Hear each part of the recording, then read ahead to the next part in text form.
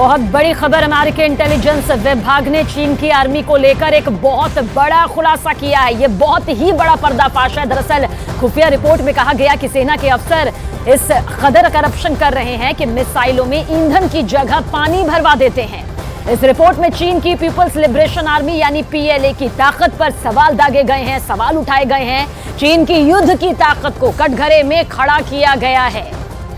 देखिए, चीन की मिसाइलों में पानी भर देने वाले चीनी सेना के करप्शन केस में जो रिपोर्ट पश्चिमी मीडिया में खूब तेज़ी से छप रही है, उसके बारे में आपको जानकारी देने जा रहे हैं। दरअसल, पिछले महीने ही राष्ट्रपति शी जिनपिंग ने अपने नौ जर्नल को भ्रष्टाचार में लिप्त पाए जाने के बाद बर्खास्त कर दिया था। और अब पता चला है कि आर्मी पैसा कमाने के लिए मिसाइलों में पानी भरकर काम चला रही है।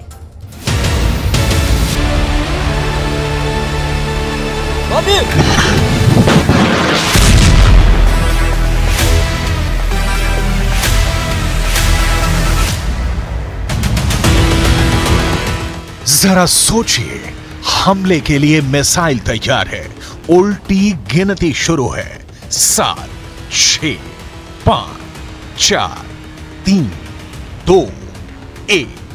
जवान ग्रीन बटन ऑन करता है, लेकिन मिसाइल फायर होना तो दूर हिलती तक नहीं। जाँच होती है तो पता चलता है कि मिसाइल में ईंधन की जगह पानी भरा है। ये भयावह सच है चीन का। उस चीन का जिसे सुपर पावर कहलाने की बड़ी इच्छा है। वही चीन जो पड़ोसी धर्म निभाने की जगह हिंदुस्तान से दुश्मनी निभाने का कोई मौका नहीं छोड़ता। वही चीन बेपर्दा हो गया है। जिस आर्मी के दम पर चीन के हुक्मरान इठलाते हैं, भूले नहीं समाते, वो आर्मी भ्रष्टाचार के दलदल में डूबी मिली। सवाल तो अब ये है Dong Feng 41 intercontinental ballistic missile range 12,000 से 15,000 kilometre. Dong Feng 5 intercontinental ballistic missile range 13,000 kilometre. J L two submarine launch ballistic missile range 8000 से 9000 किलोमीटर। और ऐसी ही अनगिनत चीन की तथाकथित पावरफुल मिसाइलें कितनी सक्षम है, कितनी खतरनाक है, कितनी खूंखार है।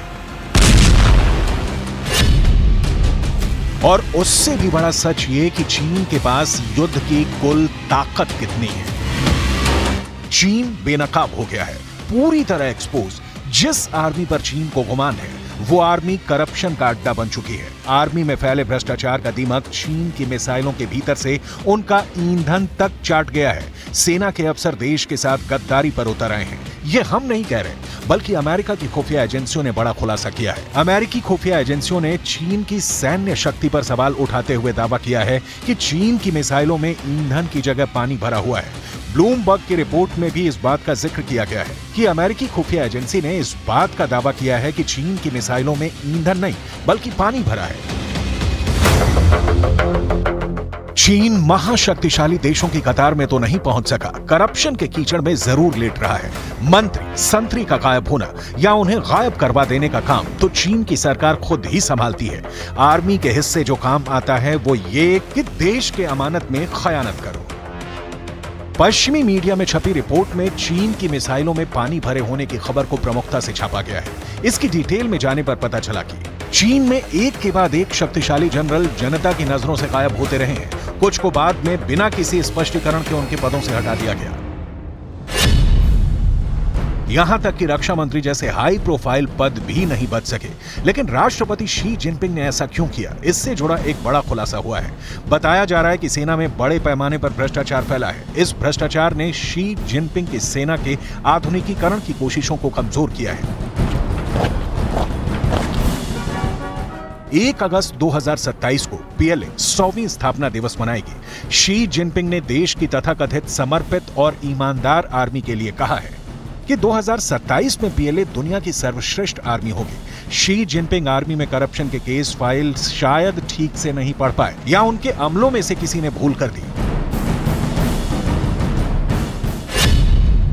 अमेरिका की खुफिया एजेंसियों की रिपोर्ट के मुताबिक, चीन की रॉकेट फोर्स और पूरे देश के रक्षा औद्योगिक आधार में भ्रष्टाचार इतने व्यापक स्तर पर फैला है कि आने वाले वर्षों में शी जिनपिंग किसी भी तरह की बड़ी सैन्य कार्रवाई करने की नहीं सोच सकते।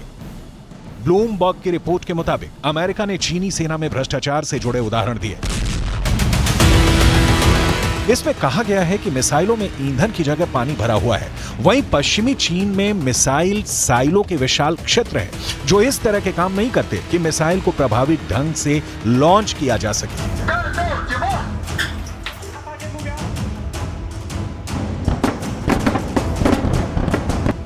अमेरिकी रिपोर्ट के मुताबिक, पीपुल्स लिबरेशन आर्मी में भ्रष्टाचार इतना बड़ा है कि उसका कॉन्फिडेंस कम हो गया है, खासकर रॉकेट फोर्स में। इसने शी जिनपिंग की आधुनिकीकरण प्राथमिकताओं को भी पीछे धकेल दिया है। भ्रष्टाचार से जुड़ी जाँच के कारण पिछले छह महीनों में एक दर्जन से ज़्यादा वरिष्ठ रक्षा अधिकारी फंसे हैं। ये आधुनिक इतिहास में देश की सेना पर चीन की सबसे बड़ी कार्रवाई हो सकती है।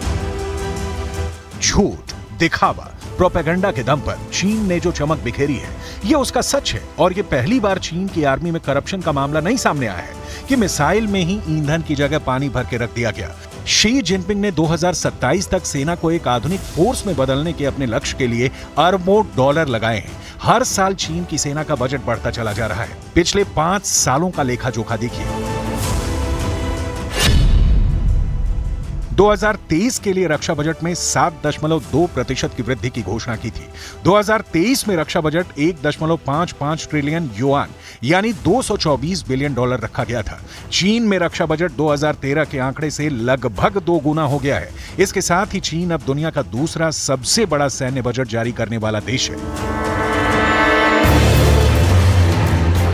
लेकिन पैसे की इस भरमार के बावजूद चीन की आर्मी में करप्शन, संक्रामक रोग की तरफ़ फैल गया है। पिछले महीने, यानी दिसंबर 2023 में चीन के राष्ट्रपति शी जिनपिंग ने अपने नौ जनरलों को बर्खास्त कर दिया था, जिनमें रॉकेट फोर्स के तीन कमांडर भी शामिल थे। रॉकेट फोर्स चीन में न्यूक्लियर मिसाइलों की निगरानी करती है। ऐसे समय में, जब दक्षिण चीन सागर और अन्य प्रमुख क्षेत्रों में ताइवान और अमेरिका उसके सामने खड़े हैं, चीन की आर्मी को लेकर अनट्रेंड होने। अनप्रोफेशनल होने की खबरें भी आती रही हैं। यही नहीं, ये तथ्य हैं कि पिछले 60 सालों से चीन की सेना युद्ध भूमि में नहीं उतरी। मतलब सेना की तीन पीढ़ियों ने कोई युद्ध नहीं लड़ा है। यानी अनुभवहीन सेना से शी जिनपिंग कुछ ज़्यादा ही उम्मीदें पाले बैठे हैं। पीपल्स लिबरेशन आर्मी यानी पीएलए की कमान सीधे चीन के राष्ट्रपति शी जिनपिंग के हाथों में है। शी जिनपिंग अपनी दंडात्मक कार्रवाइयों के लिए जाने जाते हैं। उदाहरण देखिए। विदेश मंत्री किन गैंग? लापता। रॉकेट फोर्स का कमांडर, लापता। रक्षा मंत्री ली शांगफू, लापता।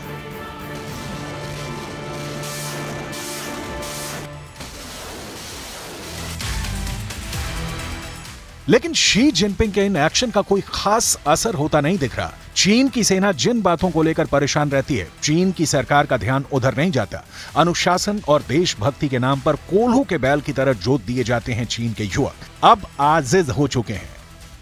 दूसरे देशों की तरह चीन के सैनिक और अफसर भी बेहतर ज़िंदगी जीना चाहते हैं, लेकिन वर्तमान सरकार की नीतियों के कारण वो संभव नहीं है। लिहाजा सेना में अफसर और जवान की मिली भगत से करप्शन का डर्टी गेम खेल खेला जा रहा है। कई एक्सपर्ट का मानना है कि लंबे समय तक चीनी सेना में भ्रष्टाचार की पुरानी समस्या बनी रहेगी, क्योंकि इसके पीछे कुछ मूल कारण भी हैं, जिनमें अधिकारियों का कम वेतन और सैन्य व्यय में अस्पष्टता शामिल है, जिस पर सरकार की तरफ़ से कोई ध्यान नहीं दिया गया है। शी जिनपिंग का विजन कहता है कि सेना इस वक्त मिसाइल में पानी भर के तैयारी करे या मिसाइल को पानी में डुबो देने वाला करप्शन करे। अधिकारियों के खिलाफ कार्रवाई होगी, लेकिन सेना से सीधा टक्कर शी जिनपिंग अगले पाँच दस सालों की अपनी सरकार में नहीं लेने वाले। इसके एक नहीं, कई कारण हैं। दुनिया की सबसे बड़ी स्थायी सेना के साथ साथ चीन के पास दुनिया की सबसे बड़ी नौसेना है। चीन के पास स्टेल्थ एयरक्राफ्ट परमाणु हथियार, परमाणु संचालित पनडुब्बियों के साथ साथ मिसाइलों का विशाल भंडार है। लेकिन अब पता चला है कि इन मिसाइलों में असल में पानी भरा है।